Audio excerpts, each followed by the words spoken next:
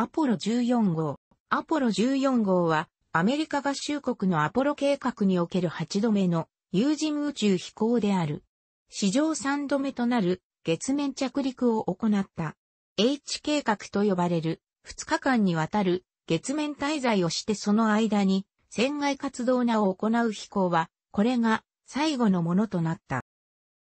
アラン・シェパード船長、スチュアート・ルーサ司令船操縦士、エドガー・ミッチェルズ機着陸船操縦士の3飛行士を乗せたサターン5型ロケットは1971年1月31日、予定時刻よりも40分02秒遅れて午後4時4分2秒に、ケネディ宇宙センターから9日間の飛行に向けて打ち上げられた。発射時間がずらされたのは悪天候によるもので、このような遅延が生じたのは、アポロ計画で初めてのことだった。シェパードとミッチェルは2月5日、フラマウロ丘陵に着陸した。ここは失敗に終わったアポロ13号の着陸予定地点であった。2回にわたる船外活動では 42kg の岩石が採集され、地震の観測などを含むいくつかの科学実験が行われた。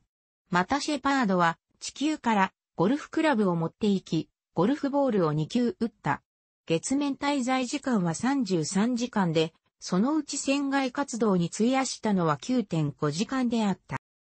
両飛行士が月面に滞在している間、ルーサ飛行士は司令船、キティホークで月周回軌道に残って科学実験を行い、さらに今後予定されているアポロ16号の着陸地点などを含む月面の写真撮影行った。また彼は数百個の植物の種を宇宙に持って行った。それらの多くは後に発芽し、ガツの木と呼ばれて各地に植樹された。三飛行士は2月9日、太平洋に帰還した。14号で飛行した当時、シェパードはアメリカで最年長の宇宙飛行士だった。またマーキュリー計画で選ばれたアメリカ初の7人の宇宙飛行士、いわゆるマーキュリーセブンの中で唯一月に行ったのも彼だった。マーキュリーセブンの中のもう一人の生き残りであるゴードン・クーパーはアポロ10号の予備搭乗員の船長に一時的に任命されたが、作家のアンドリュー・チェイキンによれば、クーパーの訓練に対するいい加減な態度や、NASA 内部での階級における諸問題により、計画から退けられた。またこの飛行はシェパードにとって、自らの苦難の克服の集大成となるものでもあった。シェパードはメニエール病を患い、それが原因で1964年から1968年まで地上勤務を命ぜられていた。シェパードと二人の同僚たちはもともとは13号で飛行する予定だったが、NASA は1969年に13号と14号のスケジュールを入れ替えた。これは4年間も地上勤務をしていたシェパードに対し、十分な訓練時間を与えるための装置だった。現在、3人の搭乗員ともすでに亡くなり、ルーサは1994年に、水炎でシェパードは1998年に白血病で逝去し、唯一の生き残りだったミッチェルも2016年2月に85歳で亡くなった。14号の発射当日は、ケネディ宇宙センター周辺は厚い雲に覆われ視界は急速に悪化したが、発射場から60マイル南方のベロビーチに設置された望遠カメラは発射後の明な画像を捉えていた。打ち上げ終了後、スピロアグニュー副大統領とスペイン国王フアンカルロス一世を呼び、その妻ソフィア王妃が管制室を表敬訪問した。アポロ司令、機械船、キティホークと着陸船、アンタレスは、はじめなかなかドッキングすることができなかった。ドッキングの試みは1時間42分にわたって続き、最終的にルーサが推進装置を使ってキティホークをアンタレスに押し込み、なんとか止め金をかけることができた。この後は、ドッキングの作業でトラブルが発生することはなかった。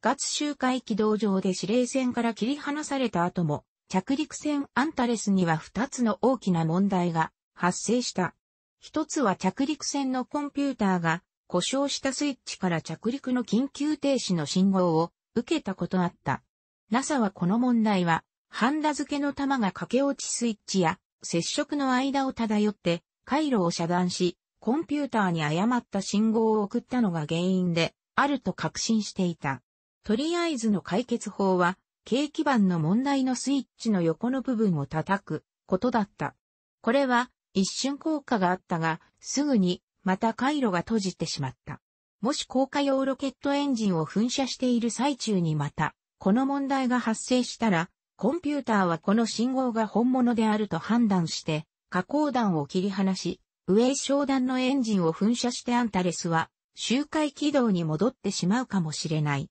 NASA とマサチューセッツ工科大学のソフトウェア、開発担当チームが急遽会合を開いた結果、解決方法はコンピューターに信号を無視するよう、プログラムを入力するしかないとの結論に達した。完成センターからパッチが口頭で伝えられ、ミッチェルはそれを、テンキーを80回以上叩きながら入力し、なんとか、時間ギリギリに間に合わせることができた。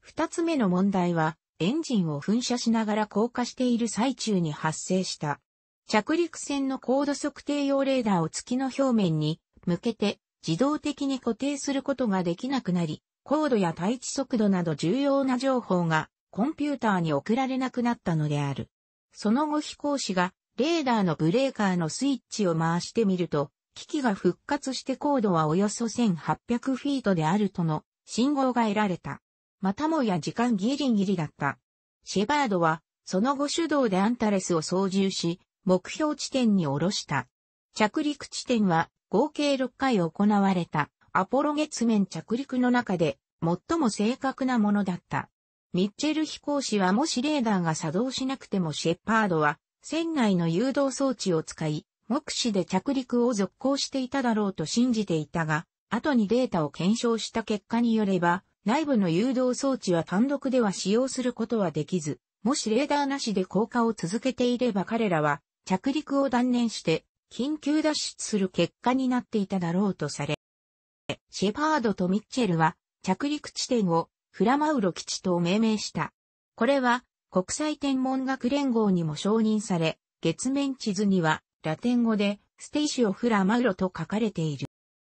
月面に降り立った時のシェパードの第一声は長い道のりだったが、我々はここにいるだった。11号のアームストロングや12号のコンラッドとは違い、彼がこの発言をしたのはすでに月面に足を踏み下ろして着陸船から数メートル離れた時のことだった。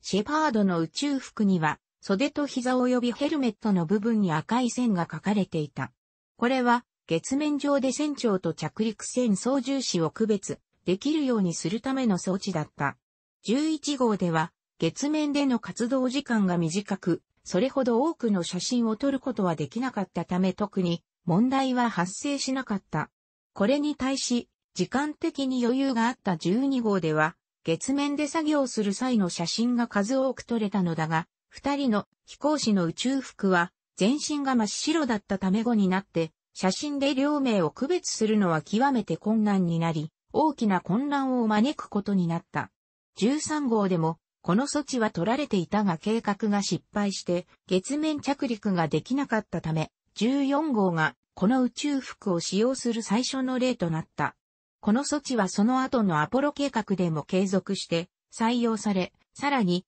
スペースシャトルや現在の国際宇宙ステーションでもアメリカやロシアの宇宙服で同じように赤い線が入った宇宙服が使用されていい。13号の着陸予定地点だったフラマウロ丘陵に到着した後、シェパードとミッチェルは2回の船外活動を行った。今回はアポロ月面実験装置群と呼ばれる調査機器に新たに地震観測計が加えられ、さらに機器や採集したサンプルを運ぶために手押し式の機器運搬車が使用された。一方、司令船キティホークで軌道上を周回しているルーサは月面の写真を撮影していた。第2回目の船外活動の目的は直径1000フィートのコーンクレーターの円まで行くことだったが、飛行士たちはクレーターの丸い地形の中で円を見つけ出すことができなかった。後に彼らが撮影した写真を分析したところ、彼らは円からクレーターの内部65フィートまで入っていたことが分かった。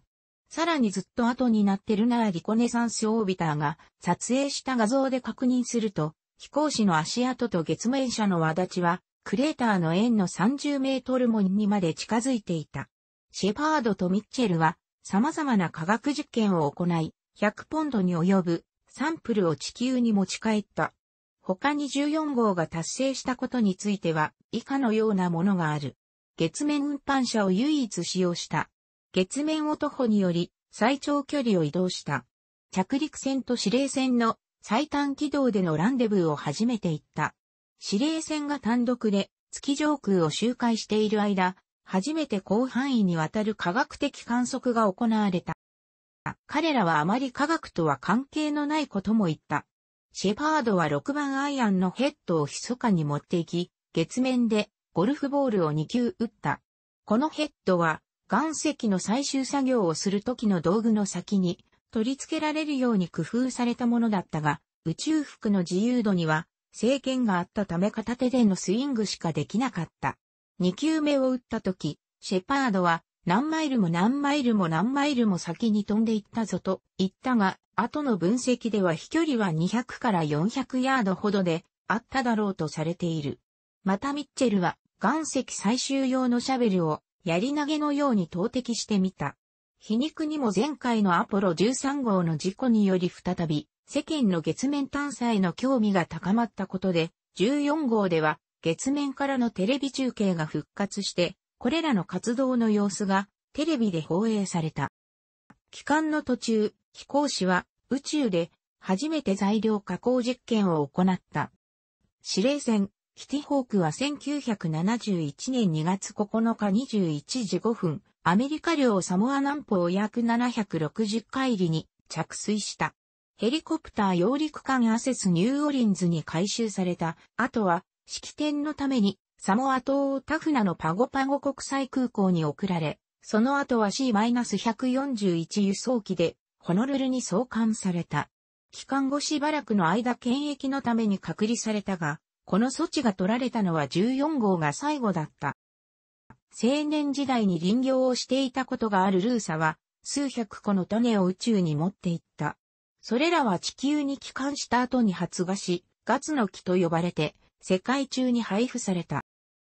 楕円形の気象は、地球から月をめぐる最初の飛行を成し遂げたアメリカの宇宙飛行士たちに与えられる NASA の襟章を表している。全体を囲む金色の帯の中には、計画名と飛行士の名前が記されている。徽章のデザインをしたのは、ジーン・ビューリューであった。予備搭乗員たちは、シェパードたちをルーニー・トゥーンズのアニメに登場してくるキャラクターになぞらえた偽物の徽章を作っていた。その中では最年長の47歳で月に行ったシェパードが灰色髭、ずんぐりした体型だったミッチェルが太鼓腹、赤毛だったルーサが赤毛というキャラクターにされ、月面には星条旗と一番乗りと書かれた旗を持つロードランナーが彼らを出し抜いてすでに到着していた。さらに計画名には、ロードランナーがいつも発しているビープ、ビープという擬声が書かれ、飛行士の名前は予備搭乗員たちのものにされるという手の込んだものであった。予備搭乗員たちはこれを指令船や着陸船の中に何枚も紛れ込ませておいたため、シェパードたちは飛行中にノートやロッカーを開けるたびにこの徽章を見つけ出すことになった。さらに月面運搬車の表面にはべったりと貼られてあった。指令船、キティホークは、フロリダ州、タイタスビルの宇宙飛行士栄誉殿堂に、数年間展示された後、ケネリ宇宙センターの展示館に移送された。着陸船、アンタレスの上昇弾は1971年2月7日0時45分25秒07に月面上に激突した。加工弾と観測機器はのフラマウロ丘陵に現存している。2009年7月17日、ルナーリコネサンスオービターが撮影した月面の写真が公開された。この中で、フラマウロを撮影したものは、光線の角度が最適だったため、アポロ計画で月面に残された機器が最もよく確認できた。2011年、ルロは再び着陸地点に戻り、今度はさらに低い高度でより高解像度の写真を撮影した。楽しくご覧になりましたら、購読と良いです。クリックしてください。